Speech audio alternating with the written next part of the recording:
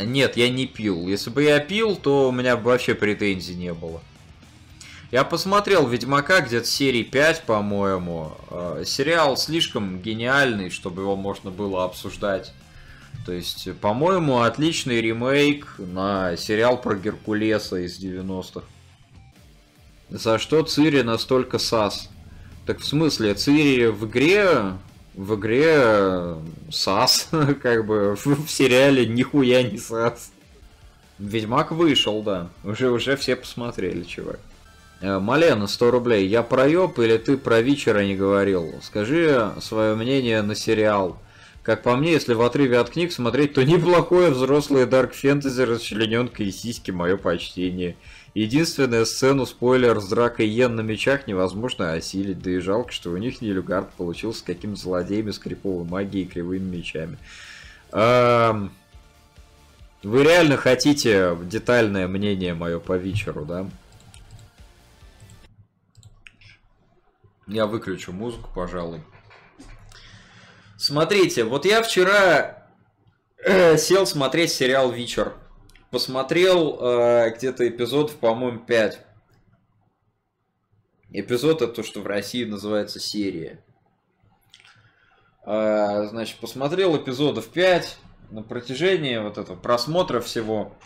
Я думал вся в голове, особенно в начале. Теперь просмотрим. В начале просмотра, там первый эпизод, например. Я думал, какой бы мне придумать троллинг. Какой бы мне придумать троллинг на тему того, что мне понравилось. Да, то есть вот.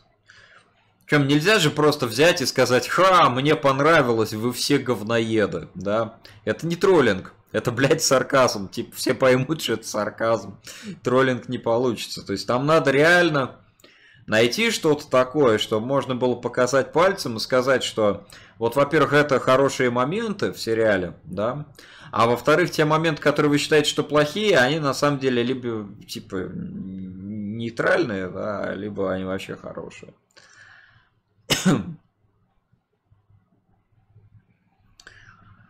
А, вот.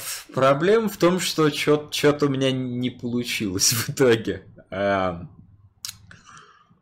а, Повторюсь, поэтому я и говорю, что сериал слишком хорош, чтобы его можно было обсудить как-то содержательно. Ну, смотрите.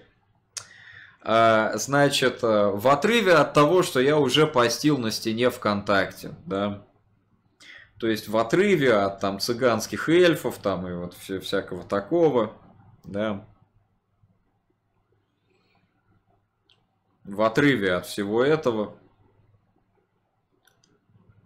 Структура нарратива вообще этого сериала. Какова она? Как он устроен? То есть королевскую, значит, семью Цинтры нам сначала показывают умирающими в первом эпизоде, а потом во флешбеке много эпизодов спустя нам показывают сцену с э, ежом Дани. Да, то есть э, Зачем? Какой смысл сначала показывать э, то, как умирают персонажи, не, не проработанные совершенно? Значит, то есть они не имеют, не имеют никакого веса, мы не знаем, что это за хуи, если мы книжки не читали. А если мы книжки читали, то мы кринжуем от, от того, как эти персонажи адаптированы все равно. То есть, если, если мы книжки не читали, то мы не знаем этих персонажей, нахуя их убивать сразу, нахуя сразу показывать, как их убили. Вот именно в таком порядке, в стиле криминального чтива. Непонятно.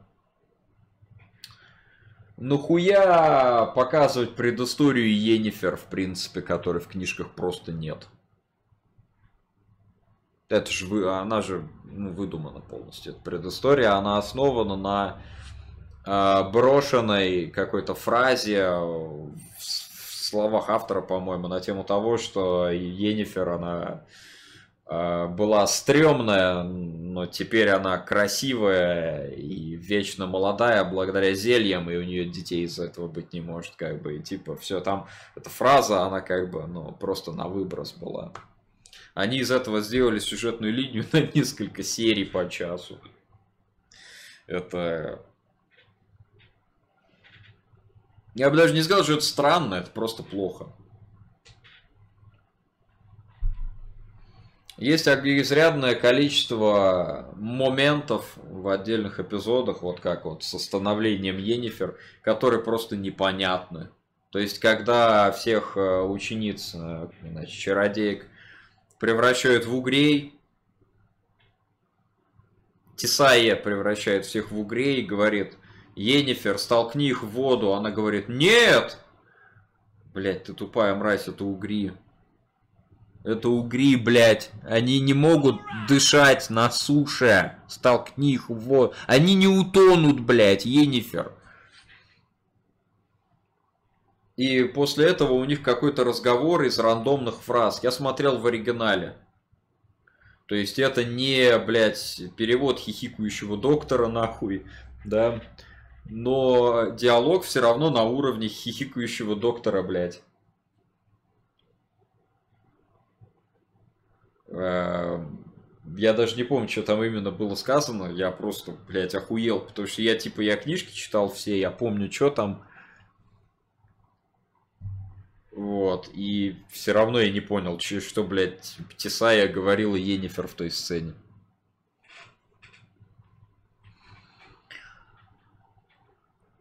Значит, э, что еще? Что еще меня напрягло? Ну, помимо перекрашивания всех персонажей, смотрите, я не против разнообразия. Я не против того, чтобы были черные персонажи во вселенной Ведьмака.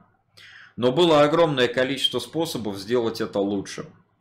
А в том виде, в котором это было сделано, это хуево даже с позиции матчасти мультикультурной социальной справедливости.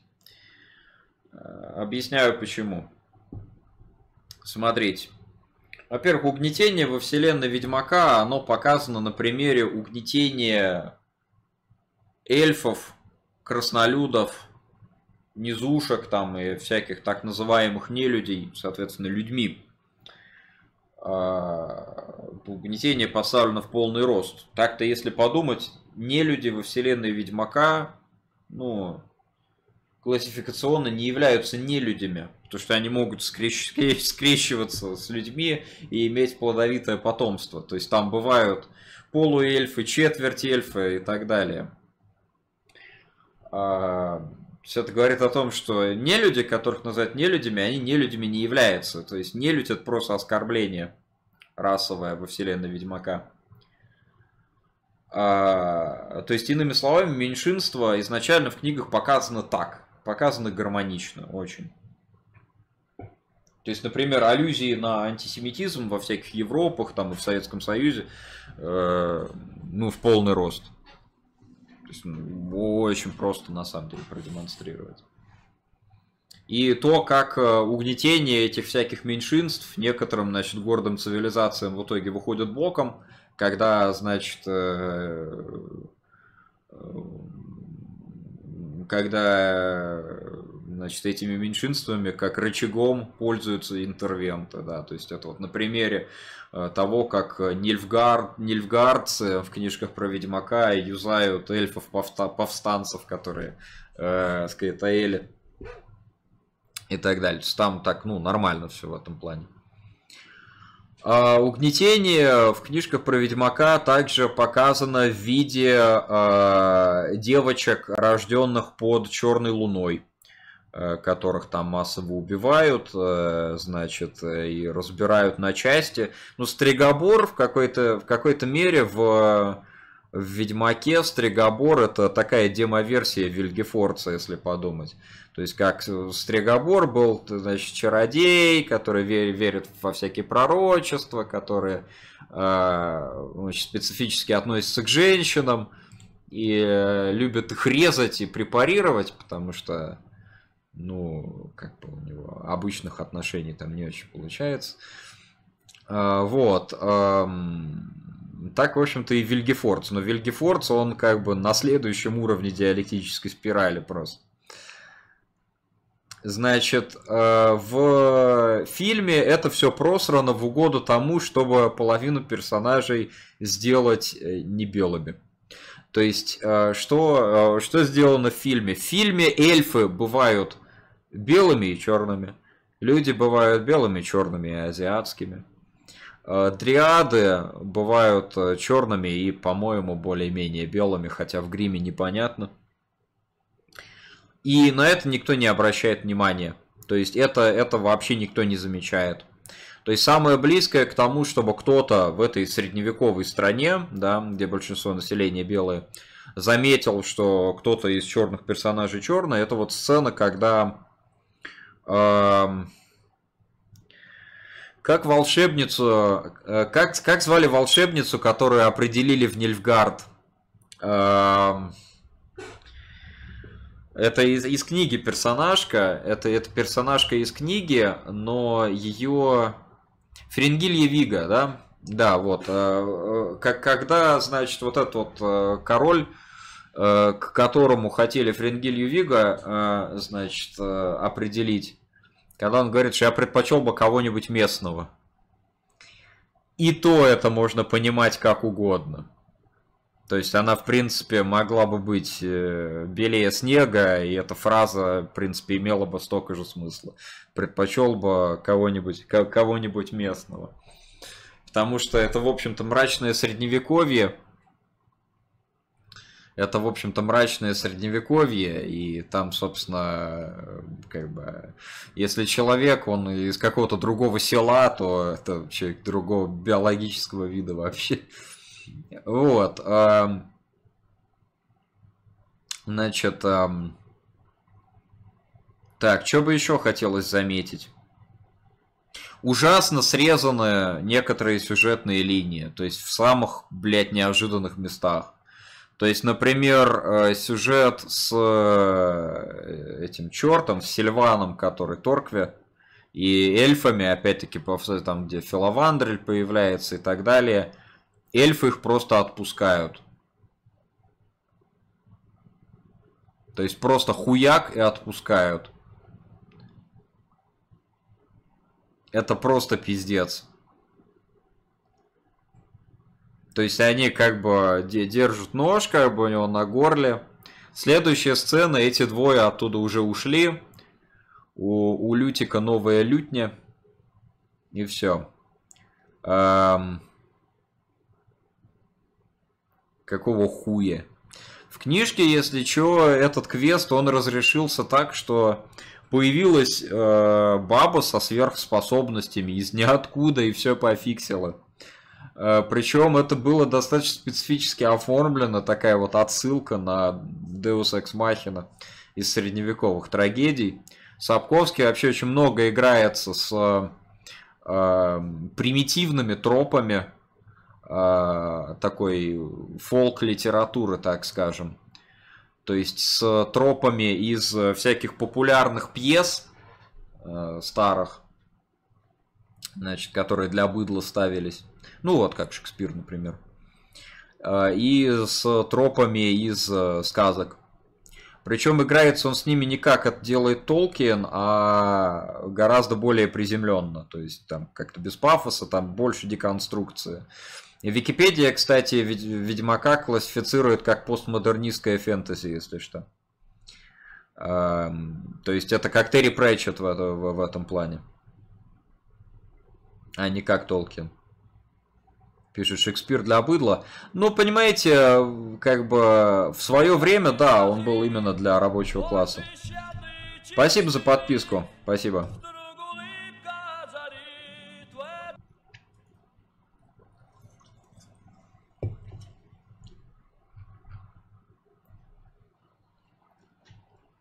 Свое время Шекспир, он действительно был для людей такого рабочего класса. Театр это было развлечение не для знати. И Шекспир это он был как Тарантино своего времени. То есть э, по, по меркам тогда, тогдашнего, тогдашней Англии, вот эти все, вот это Макбет, блядь, когда в конце Макдаф выходит с отрубленной головой в руках Или когда в зимней сказке там чувака медведь прогоняет со сцены.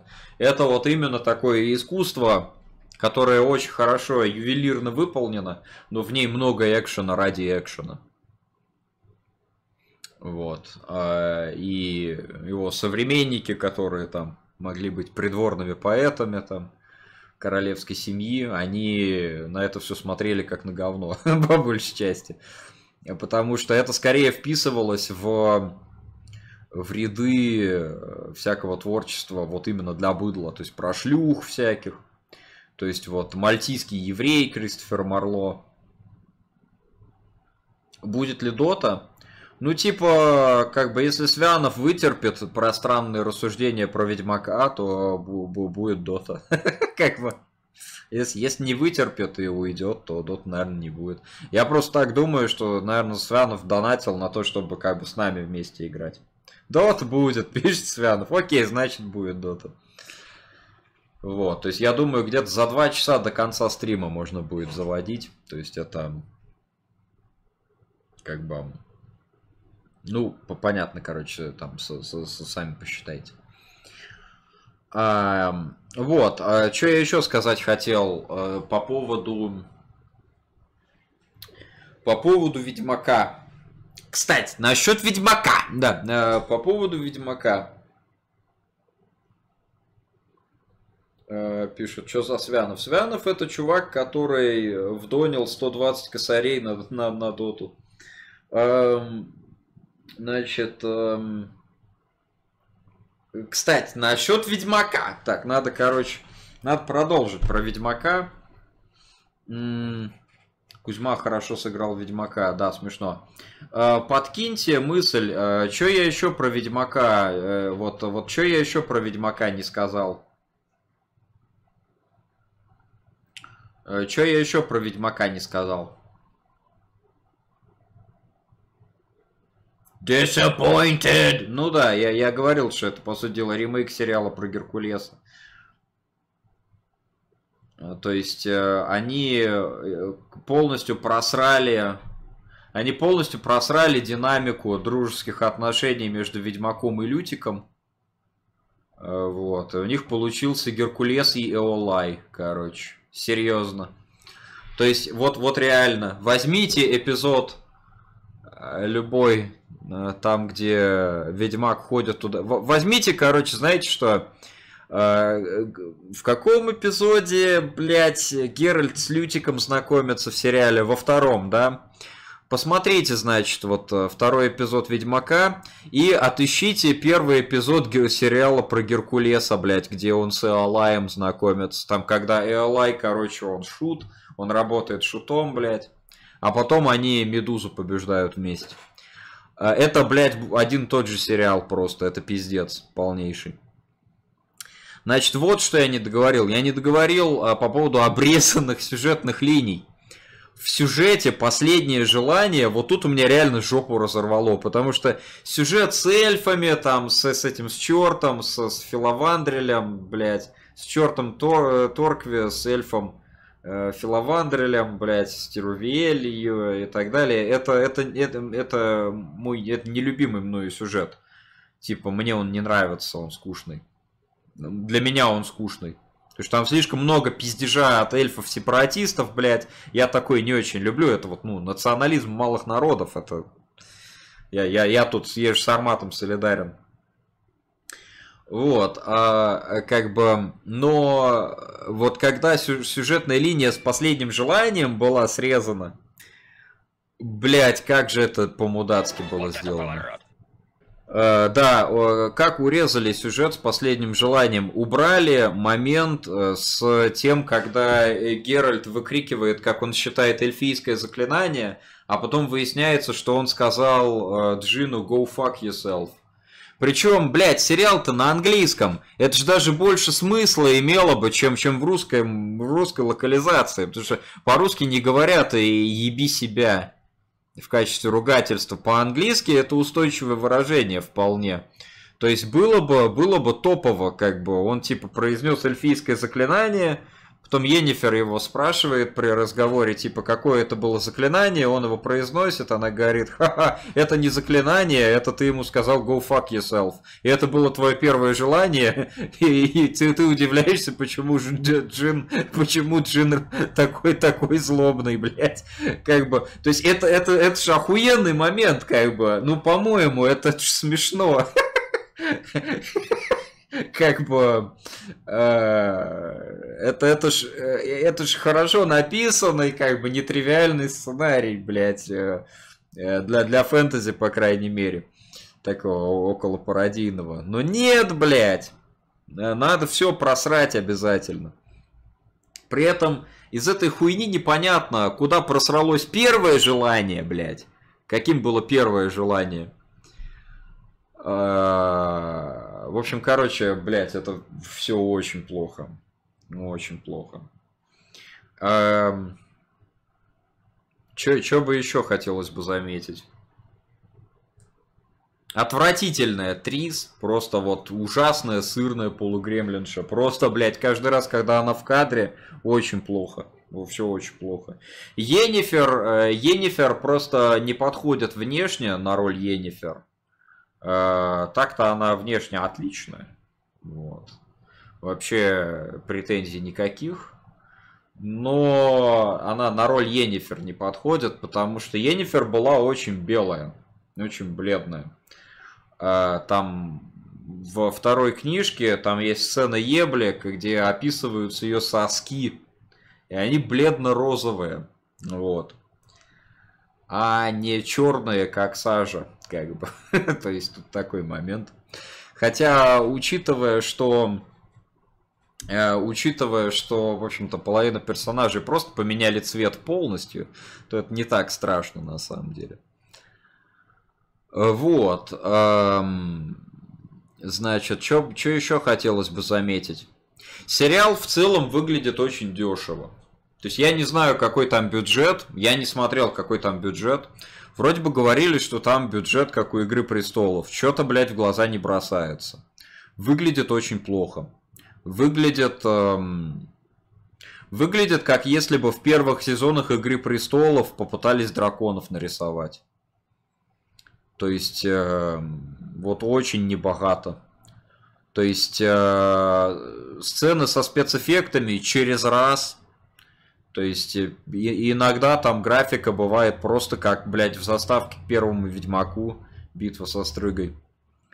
Иногда бывает анимация неплохая.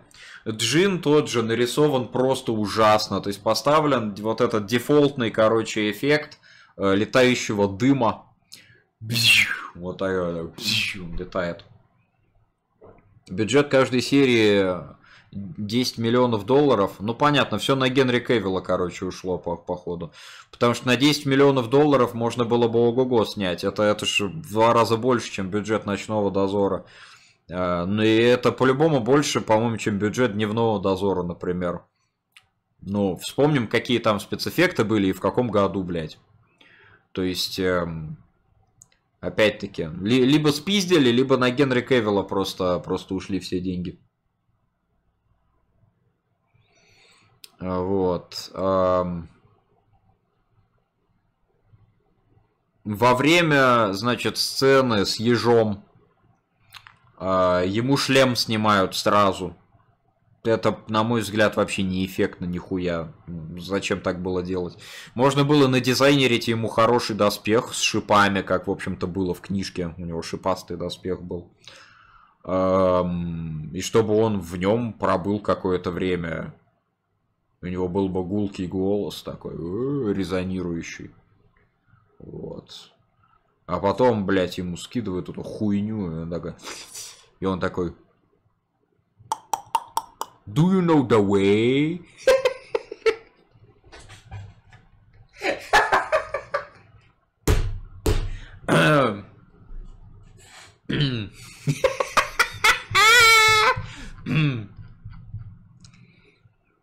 И почему, когда нильфгардцы нападают на Цинтру, я, -то, я там, кстати, не понял, когда нильфгардцы нападают на Цинтру, там император э, Нильфгарда как-то по-другому назван. Ведь, по-моему, когда Нильфгард, когда Нильфгард э, сжег Цинтру, нахуй, значит, э, захватил Цинтру, там император уже был Эмгыр. И его и называли Эмгыр, как бы. То есть там мне немного непонятно. Его как-то каким-то другим именем там назвали. Хотя, по-моему, в книжке его просто называли, ну, типа, всю дорогу его называли Эмгыр. Ну, всю дорогу, как когда он император, собственно, уже когда он всех захватывает, у него же типа псевдонимов нет, он уже не ешь нихуя. То есть там странная хуйня какая-то. А, сцена битвы 10 из 10, пехота тупо чаржится на конницу. Ну знаешь, у меня немного атрофировано вот это вот ощущение реалистичности битв или нереалистичности битв а, после восьмого сезона Игры Престолов. Просто я не могу оценивать реалистичность битв в кино и в сериалах. Это у меня отпало совершенно. Я отказываюсь смотреть на то, как, как кто где сражается. Ну его нахуй. Последний раз, когда я это сделал, когда Игру Престолов смотрел, мне очень больно до сих пор. И там я книжки не читал, блядь. Да, с Ренфри, кстати, сюжет, по сути дела, проебан.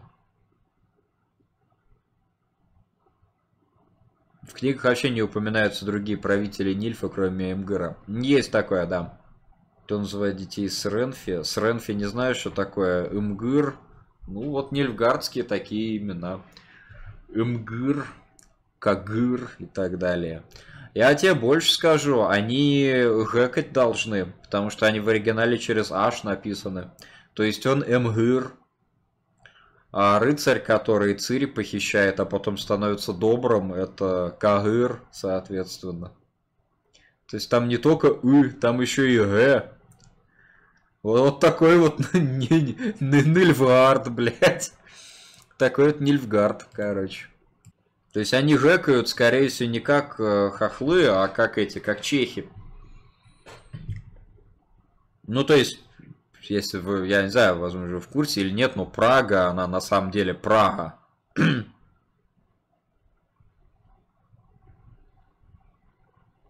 Меня заинтересовала Ренфри по сериалу, но ее тут же слили.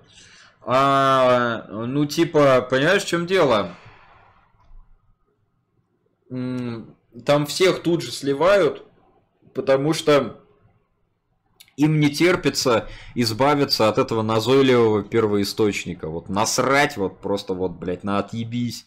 Просто для галочки чисто поставить в какую-нибудь хуйню рандомную и поскорее начать писать самим. Потому что они, по сути дела, за один сезон э, за один сезон расходуют сюжетных линий где-то книги на две они очень быстро идут вот в сторону поскорее бы там, значит, Вильгефорд, вся хуйня, там Регис, блядь, поскорее бы самим начать хуярить. Вот, э, то есть, ну, видно, что, как бы, люди обожают, обожают блядь, первоисточник, да, заебись. А, Генри Кевилл в роли Ведьмака. Как мне Генри Кевилл в роли Ведьмака? На фоне всей остальной хуйни вообще заебись. То есть, вот серьезно. А, претензии, конечно, есть, что, блядь, он огромный шмат, блядь, мяса. Э, и, ну, типа, ведьмаки, они не такие, они тощие, жилистые, блядь, если это не лето из компьютерной игры. Вот как бы, что еще? Ну, актер он такой невыразительный. Но я не верю в актерскую игру, на самом деле. На мой взгляд, плохая актерская игра это плохая режиссура просто. Вот, ну так да, у него в большинстве сцен выражение лица такое как бы, как будто перданул кто-то, короче, такой, знаете, вот а, был такой мемчик Мегуста, если кто помнит, где Такое выражение лица недо... недовольное такое. Disappointed, да. Эм... Причем во всех сценах одинаковое. Ну, типа... Эм... Да. Какую оценку сериалу поставишь? Только, блядь, 12 из 10. Нильфы это Священная Римская империя. Но там все не так просто, на самом деле, с нильфами. Эм, то есть, эм, ну, вообще, хороший сериал или хорошие книжки какие-нибудь, хотя бы чуть-чуть немного хорошие, да, неплохие в них ты не проведешь однозначные параллели там исторические какие-нибудь, да, то есть, например, Айзенгард это Сталинград, да, то есть вот аорки это, блядь, э, русский Советский Союз. То есть это немного не, не так все работает на самом деле. То есть, или, например, Игра престолов это вот недавно этот Кабанин, или как его звать, русский националист, на стриме у Каргина сказал, «Игра престолов» это, как это называлось это «Хроники проклятых королей» или как-то хуйня. Эм, художественная, ну, новелизация, значит, эм, жизни французских монархов, начиная с там, Филиппа Красивого, по-моему. Э, не помню, как она называлась. Э, ну, типа, ну да, охуенно, французских королей. Только откуда среди французских королей взялись, блядь, Ланкастеры и Йорки, например?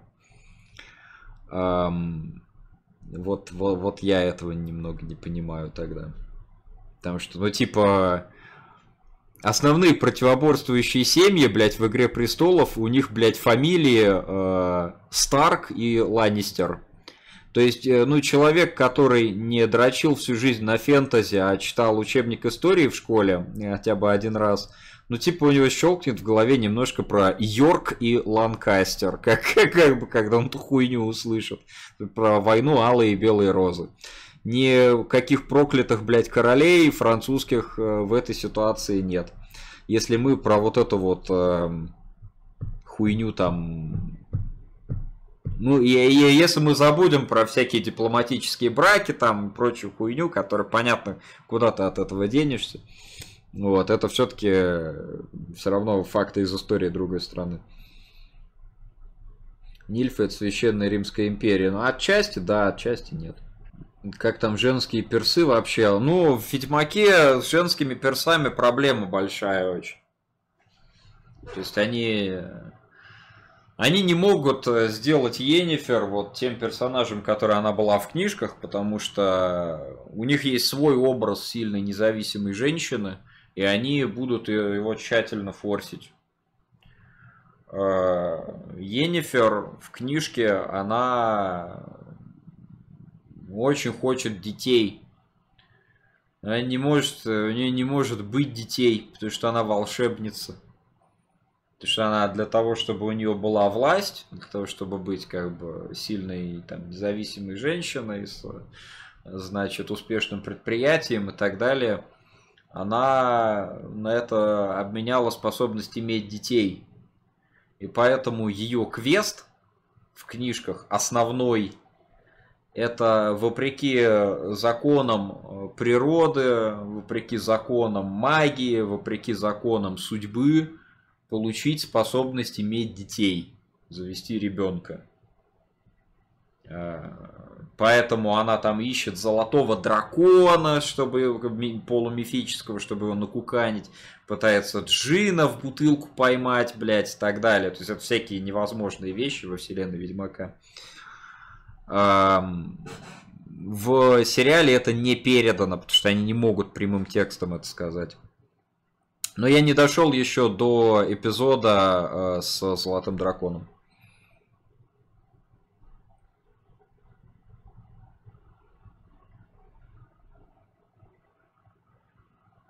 You're tearing me apart, Jennifer.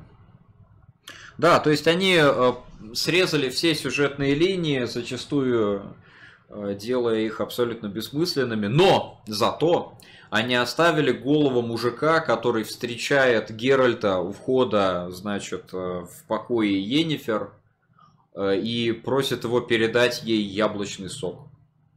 Вот это обязательно надо было вставить. Без этого вообще хуйня сериал был бы. То есть вот, типа, без этого было невозможно. Э, без этого хуйня, блядь, полная. Без, без, без вот этого головы деда вообще. Ну, как, как... Просто распадается сюжет сразу в пизду. Любительский польский фильм про Ведьмака не смотрел. Бля, чувак, вот тут я с Мэдом согласен вообще. Вот подписываюсь под каждым словом про любительский польский фильм про Ведьмака. Ну, типа, серьезно. Любительские фильмы говно. Все. Вообще забудьте об этом.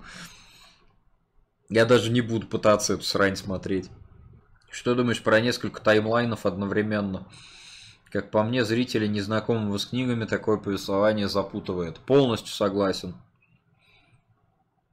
Вообще полностью согласен. То есть я так себе представляю, что ты, если заранее не знаешь, что там происходит, ты вообще в душе, блядь, не ебешь. Какое событие, когда там, потому что там даты не подписаны нигде. Сколько в Ведьмаке глубокого философского смысла по шкале от 1 до 10? Ну, я в этом вопросе согласен, в общем-то, с Сапковским, что художественная литература это не философия, и писатель это не философ, а философ это не писатель. Они заняты принципиально разными вещами. Но я считаю, что в художественной литературе философии быть просто не может. Да, рекомендую фильм «Выблетки». Я бы, кстати, предпочел бы, если бы «Ведьмака» снял Олег Мавромати. То есть вот, вот тогда было бы вообще за, заебись вот во весь рост. Вот Ведьмак в стиле фильма Выблетки, там Зеленый слоник. А, ну или как вот Трудно быть богом э, Германа. То есть вот, ну в принципе Трудно быть богом с Ермольником, вот то, что Германы снимали. А, это же уже по, по сути дела Ведьмак. То есть там единственное, что надо персонажей переименовать всех, и все. Все. То есть, в принципе, разницы нет. Как тебе Ведьмак из польского старого сериала смотрел? А, ты. В смысле, Ведьмак из польского старого сериала. Ты про актера, который играл Геральта, что ли, или что ты имел в виду? А, или как мне польский сериал в целом? Да. Ну, он старый, и этот сериал был старый, даже когда только-только вышел, если понимаешь, о чем я. Он очень хуево выглядит мало денег у них было. Ну, Михаил Джебровский, или как там его звали, актер отличный, в принципе. Он хорошо сыграл в фильме 1612, если я не ошибаюсь. Кстати, неплохой фильм про смутное время. Не самый плохой россиянский фильм. Вот, а про Ведьмака польского особо больше сказать нечего, потому что, ну, он, мягко говоря, не лучше, чем то, что высрали Netflix. То есть, ну, там, там тоже было говно. Несмотря на то, что вроде бы польский сериал, никаких SJW, блядь, ну, все равно все, все просрано, все примерно так же. Вот, но при этом, при этом денег с этого они получили, наверное, значительно меньше. Стоит смотреть сериал, если я не читал ни единой книжки по Сабжу, не играл в игры по нему. Я думаю, что только так и стоит. Смотри, если ты либо не смотрел, то, то есть ты либо не знаком ни с каким там первоисточником, либо он тебе не нравится, то в принципе можно посмотреть при условии, что тебе нравятся э, популярные сериалы. Что-нибудь типа сверхъестественного, то есть что-нибудь такое. Это сейчас не шутка, потому что сериал про Ведьмака это вот что-то на уровне не знаю, э, настоящая кровь, то есть это вот такой сериал э, такого уровня, такого типажа, а, абсолютно. Там вот и как раз таки э, линия сюжетная со становлением Енифер, она была добавлена именно для этого, чтобы он по форме был вот как вот такой вот сериал обязательно. Потому что это, это набирает классы. Эм, Ну, это, конечно, очень плохо. Вот, то есть, если те заходят массовые сериалы, я тебя не осуждаю совершенно. Но вот те тогда реально зайдет Ведьмак. Обсуди Каланта, потому что это пиздец. Да, я королеву Каланта по-другому себе представлял. Они сделали ее бой бабы, которая людей режет, короче, на поле битвы. То есть, хотя в сериале уже есть такой персонаж, это Блять, как ее звать-то?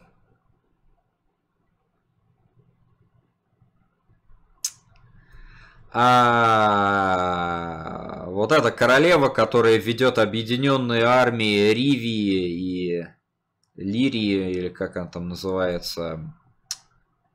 Да, Вячеслав Дацик, да, охуенно. Как, как, как, как зовут в книжке? Мэва, да, Мэва. Или Мэв. А, то есть э, в книжке уже есть такой персонаж, Мэва. А, как бы, нахуя им было делать всех женских персонажей а, Жаннами Дарк ебаными? Э, типа, серьезно. Так, донат. Как тебе музыкальное сопровождение сериала? Ну вот тут, кстати, не подкачали, как мне кажется. Музыкальное сопровождение там не такое плохое, как вот я боялся, что оно будет. Оно, конечно, не, не такое хорошее, как в играх, да, но в играх оно вообще заебись. В играх саунд про Ведьмака, как в третьей части, там саундтрек я отдельно слушаю иногда на ютубе просто. Тут-то, конечно, он не такой заебись, чтобы его слушать отдельно но ну, нормально пойдет. Ну, это саундтрек же. Это же типа, ну, не музыка, это аккомпанемент. Э, что тебе из всего больше нравится? Книги по Ведьмаку, игра или сериал? Э, игра, пожалуй. Э, пожалуй, игра, да. Но в некоторых местах книги, но в целом, наверное, игра. Сериал оставил впечатление, будто я прошел main-квест третьей части – Хотя самый сок был в side-квестах. У тебя не было такого? Нет, у меня сериал не оставил впечатления, что я прохожу игру, потому что, блядь, в э, игре сюжет пизжи, как бы на три головы. Спасибо за подписку. Спасибо.